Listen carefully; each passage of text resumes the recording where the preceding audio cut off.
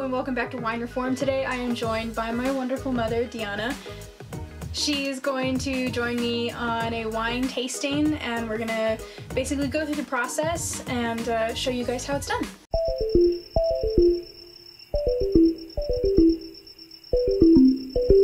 So today we are tasting a biodynamic tasting set. And you're probably wondering what the heck is biodynamic. Don't worry, I wondered the same thing until I did a little bit of research. So if you're really into following the rhythms of the earth and you're uh, kind of an astrology buff, you're probably going to appreciate biodynamic wine. Basically, this is a holistic way of seeing agriculture in general. The concept itself is not new, it's been around for ages. If you've ever heard of the Farmer's Almanac, it follows the same sort of principles. So my mom actually mentioned that to me and I went, oh, that's pretty cool. Yeah, I was trying to understand what you were saying. Yeah, But wait, are, are you talking about Farmer's Almanac? She was like, yeah, that's it. Exactly. Kind of like that. Exactly. Basically, all you do is you pay attention to the lunar calendar. When you water, when you prune, when you harvest, and when you leave it alone, it all corresponds with the movements of celestial bodies. Whether or not the science is actually there to back it up, not really sure, but the fun thing about biodynamic viticulture is that when you make wine from those grapes, um, you actually are able to supposedly taste more of the terroir, which is to say, you can taste more of where the wine is actually grown, so less about what the winemaker was interested in showing you and more about what they wanted to show you that their soil could do. Oh. Biodynamics, uh, it falls into a cycle, and there are flower days, leaf days, root days, and fruit days. On the flower days, that's when you don't touch the vineyard, leave it alone, let it do its thing. In case you're ever looking at a calendar, the flower days corresponds with the astrological sign for Libra. The leaf days are the days that you water your vines. These are the days that um, are most auspicious to give it that H2O, and it corresponds with the astrological sign for Cancer. Uh, so maybe if you're into astrology, you can see a trend. The root days, the days that you prune the plants, give them a little bit of love and care, those correspond with the sign for Taurus. And the fruit days, the days in which you harvest your grapes, uh, correspond with the sign for Aries. So really, it's split up into four, and though it starts with those signs, so that's to say, here's where this cycle begins, it actually corresponds with a few months, and then you'll have, okay, here's another cycle, and then it corresponds a few months. So, hmm, fun stuff. So, do you have they noticed that there's a, a, a contrasting difference in the way that the grapes um, turn into wine? Like it's been proven that they they feel like by doing it this way, they're actually getting a better product in their in the way that they're looking for. Some winemakers will say that they notice, but a lot of sommeliers don't necessarily know if there's a difference. It really comes down to what you prefer. Okay, well, Um, I'd like to try to find out. Yeah, so it'll be fun to see. there are two classifications for for biodynamic wines. So if you want to guarantee that your wine has been certified biodynamic, you can look for Demeter International, which is for uh, wineries and vineyards around the world, or you can get the Biodyvin or Biodyvin. I don't know how to pronounce it. I read it. I don't know how to pronounce it. But basically, only 100 European wineries get that one. I see that this bottle has that Demeter certified. Exactly. So it. we do have on there. Okay. Yeah, we do have one wine that has definitely been certified biodynamic. Uh, something to note biodynamic is not necessarily the same as organic, it goes a step further. Oh. In the sense that their composting methods, they, uh, for a true biodynamic wine, they'll actually take a lot of food and plant mm, waste and material and they'll stuff it into old cow horns Cow horn. and they'll bury it. We're not exactly sure where the idea came from, but it's really synonymous with the idea of a cornucopia. Interesting, because it reminds me of those little Miracle-Gros things that you stick in the ground. That's what it reminds me of. Exactly. okay. You do that, but with cow's horns. Cow's horns. So it's not necessarily vegan or vegetarian. If you're looking for a wine like that, you're not going to want a biodynamic. So now that we've established that, let's talk about what we're tasting. So we have a wine tasting set. We have three wines, all from France, and uh, two of them are from the Languedoc region, the uh, southern part of France, and then one of our wines is actually from the northern Rhone so far north. Uh, when we're tasting wine, it's really important that we go in order from the lightest wine to the darkest wine. Oh, and why is that? Basically, what you're uh, what you want to do is you don't want one to overwhelm the other. So, is it because of the tannins in the red wines that's likely to overwhelm the lighter wine? Exactly. Okay. Well, I'm learning a few things with you hanging around them. so, I'm learning some stuff here. Why don't we open the wines and then we will talk about each one as we go. Wines are open, so now we're gonna get started. Like I said, when you're doing a tasting, even if you have separate glasses, which we don't because I don't have an- enough. Works for me. But you mentioned that there's a trick that you do when you've got one glass. exactly. Remember you said that one time. So we'll, we'll get to talk about that. Awesome. Since we're doing a tasting, we are going to start with our lightest wine. And today, that is our M. Chapoutier, I hope that's how you pronounce it, Viognier. What we're going to do is we're going to write down the winemaker. That's in Braille. Oh, yeah, the fun thing about this one, yeah, it does have Braille on the label, which makes it really neat. That is cool. We'll write down the winemaker. We're gonna write down the region. So the region is um, also known as like the appellation, d'origine, protégée. It's in French. It means the region where the grapes were from. Gotcha. And then we're going to write down the vintage. And the vintage um, for this one is 2017. Um, the vintage is the year the grapes were picked. What a good year. Exactly. So that's why some sommeliers will actually say for this wine the best year was because maybe the grapes just did better that year. I wonder how they find that stuff out. You taste it. You just taste it. You Keep tasting all the wines from that year, and then you go, "Yep, this was a good year." Basically. Okay. And then we'll write down the alcohol by volume. So for this first one, M. Chapoutier. I think yeah, Chap Chapoutier. Chapoutier. Chapoutier. That was my high school French. The alcohol by volume is 12%. So that's pretty average for an old world wine. So we have these white papers in front of us. What you do is you'll hold it so mm-hmm. that you're getting light in there and observe the color. That's beautiful. I mean, I'm only seeing any color whatsoever really along the edges. So, I mean, it's very faint yellow. I'm getting like a, like a really really pale, almost canary yellow. Yeah, that's a good description. Now, something else to note is sometimes when you're looking at a wine, not only are you looking at it for the color, you're trying to see if there's anything floating in it. So I don't really see any sediment other than the piece of fuzz that fell into my glass. So for appearance, we're just gonna write down the things that we saw. It looks really pretty. It has a brightness to it, but if you thin it out too much, then you don't, you miss out. You don't really see the color. Something else to note for anyone watching, when you're doing a wine tasting, there is no right answer. Because you're not tasting, unless you are a wine writer, you're not tasting for an audience. You're tasting so that you can remember what you saw, and what you smelled, and what you enjoyed. Which made me feel so much better and more confident when I was starting to talk about it in front of other people. Exactly. oh, well, I do this. And, and when you look confident and you sound confident, it's like, oh, she must know what she's talking about. Which is all that. I love it. Um, other than color, do I put down like cl- clarity? Mm-hmm. So, So, what would you say on the clarity? personally, because I'm not seeing anything floating in it, Yeah, I mean, there really wasn't. yeah. And clarity doesn't necessarily have to do with um, how much you can see through the wine. Oh, It has a lot more to do with um, how much of that wine is pure liquid, oh, if that makes more sense. no. what do you mean by pure liquid? So, a lot of times um, you can have a really heavy tannic wine Okay. that's really dark and light has a hard time getting through it. But if you swirl it around your glass and you can't see through the wine, but you can tell that there's nothing in it beyond wine. Oh, okay. Yeah. I see what you're saying. No sediment and stuff in it. Exactly. Oh, okay. Yeah. Cool. Next thing we're gonna do, since we did swirl it and aerate it, is we're gonna give it a good sniff. Ooh, Fruity? yeah. what, what kind of fruit are you smelling? Peachy? I, I can get the peach.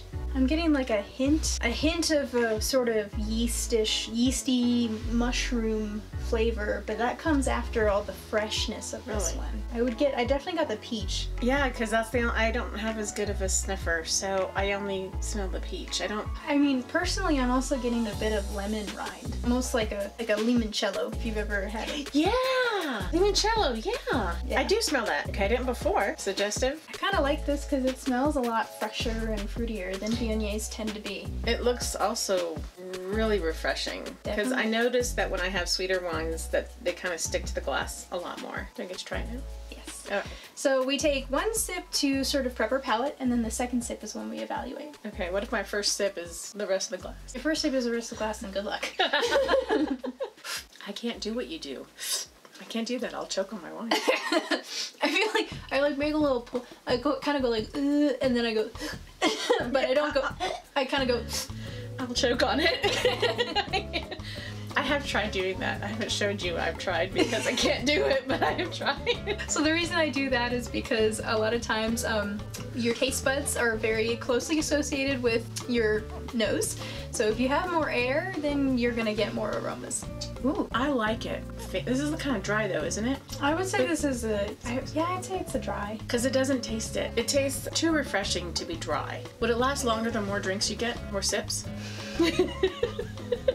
if if I take a sip, okay, I have very little left. Mm-hmm. So if I take a sip and I after my fifth sip, would it start to just kind of Linger. linger longer because it's been in my mouth five times as opposed to my first sip? Mm-hmm.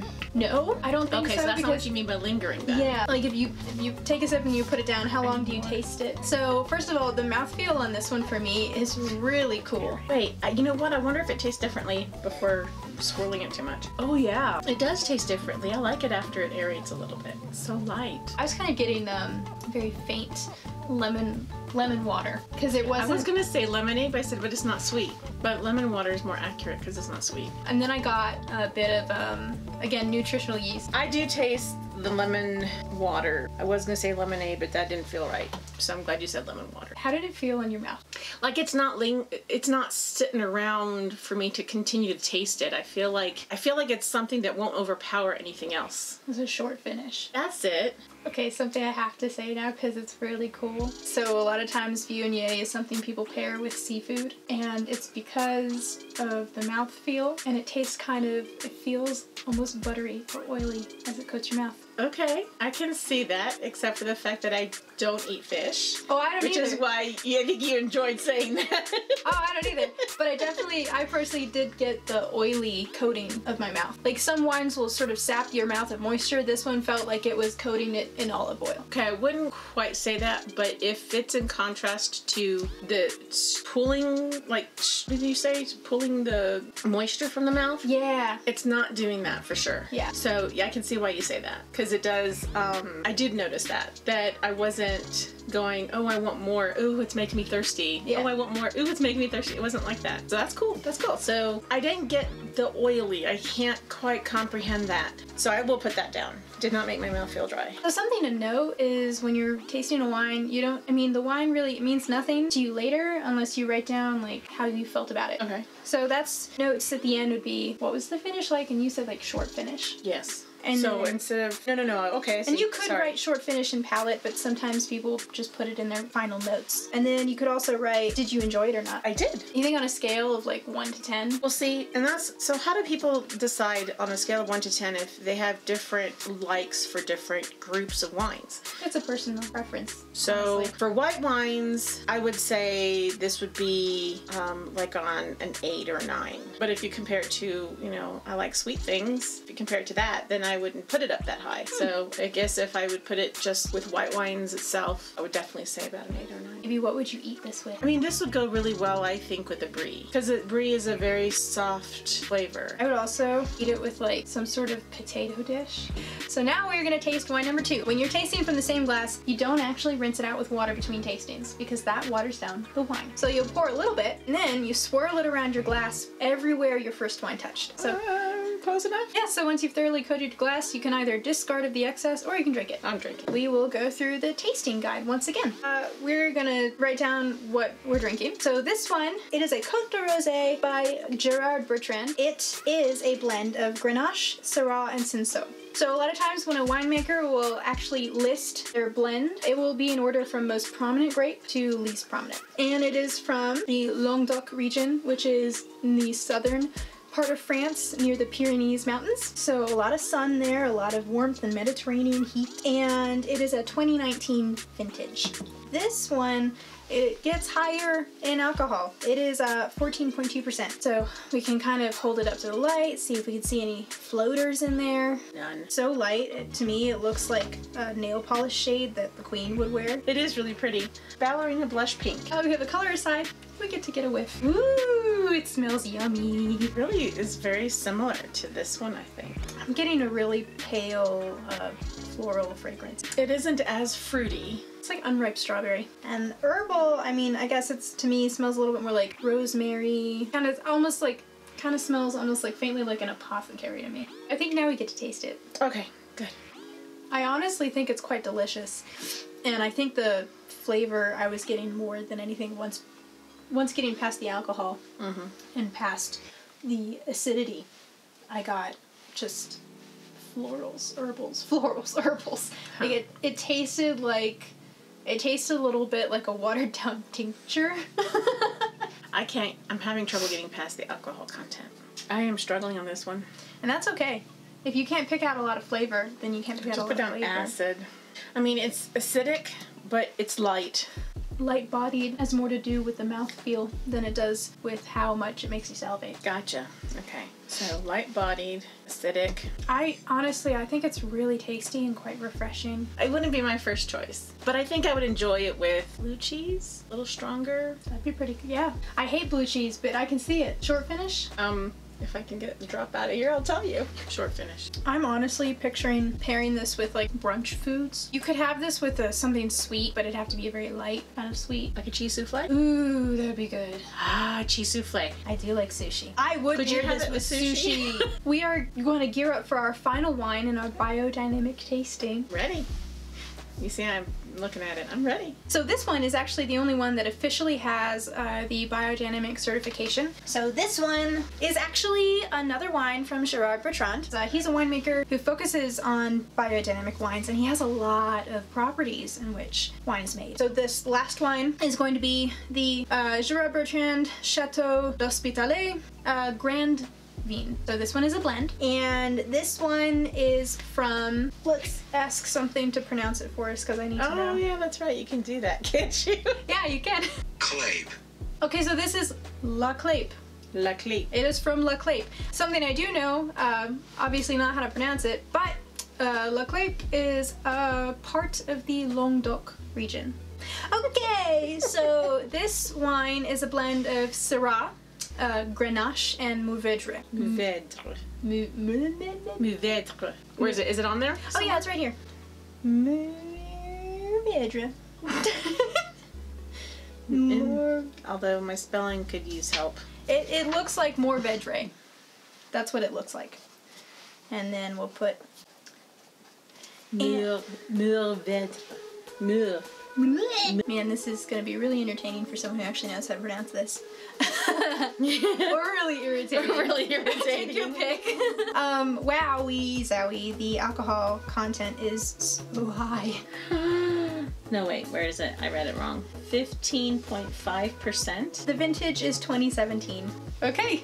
Ready? Yeah, I'm gonna I'm gonna hold it. You're gonna hold it this Yeah. time. No spill. Yes. And it was the red ones. That's good. All right. Okay, so now we get to go through the process once more with our final line. The appearance. What color do you see? Garnet. There, yeah. I see it. I mean, especially when I swirl it, I see garnet. Pretty. So. This looks like a wine's wine. yeah, I know what you mean. So, Yeah. you ready to Nose? smell? Yeah. Sniff. Wait. Oh, it smells so good. Cherry. Yeah. it almost smells like Smoky cherry. smoky cherry, and I'm getting a bit of like a sh- uh, like a shoe polishy kind of smell. Now I am happy though because this is a really this is a, a red wine. The flavors are or aromas are so heaty that they're not being overpowered by the alcohol. Yeah, okay, I was wondering about that. Because I was thinking it's higher alcohol and I could not do that with the last wine. Okay. Ready? Ready? Okay. First sip to cleanse, second sip to evaluate. Pruny. Astringency. Arugula. It's a bitter green. Oddly enough, I do too. It has some acidity. Acidic, but light. Peppery. Faintly peppery. You wanna go? We can go to the, All right. We can go there. Um, I was gonna say, really thick steak, really heavy seasoning, like peppery seasoning. Yeah, I think it would taste really good with that. Because this would definitely keep up with it. And Brussels sprouts. Yeah, especially the way I make them. I think it has a surprisingly short finish for a red wine though. A little bit more than the other two, Yeah, but yeah, short. short finish. Lasagna. That's it. That's, it. Well, that was tasty. Yep. Okay, if I had to pick a favorite though, Yeah, which one did you pick? The Viognier. This wine tasting set I actually found on wine.com, not sponsored. Uh, the set as a whole is uh, was eighty dollars, so that rough roughs out to about twenty dollars per bottle. Um, however, without that, uh, every bottle would have been closer to thirty dollars. So if you can find a bundle or deals or whatever, if you're gonna splurge on your wine, I highly recommend going for a bundle or a deal. You know, you definitely got a lot of flavors out of it. Mm-hmm. Uh, I think it's almost wasted on someone like me who doesn't get as many flavors from it, but I still enjoy it, you know. But um but you definitely for someone who can really taste the wine um and really get all those flavors out of it, you know, you get what you pay for. And you don't need an expensive set to do a wine tasting. In fact, you could do a wine tasting with varieties of boxed wine, and I think it would be just as fun. Because really, the whole point of a tasting is to just get a bearing for what you like. and you get to talk. Exactly. to your friends, Exactly. to your kids. I, I actually think that that's the best part of, of wine tasting is just when you get over the fact that you know it's not a right or wrong thing. This is exciting for me because you know we get to sit down and chat and talk about you know the wine and even threw in a few memories there. You know, so yeah, I think that's pretty nice about that. And wine is, yeah, if it's something you can taste or smell, it's so tied to memory. Oh yeah. Yeah. So thanks for having me. Thank you for being here. Without my mom, I honestly would not have the interest I do in wine. I think that growing up with you and Uncle Jeff, your brother, you both going to wineries and me sitting there and being bored, but uh, later I think that the influence definitely seeped into my life and it's because of you guys that I'm so into it. I enjoyed it. I filled out my paper.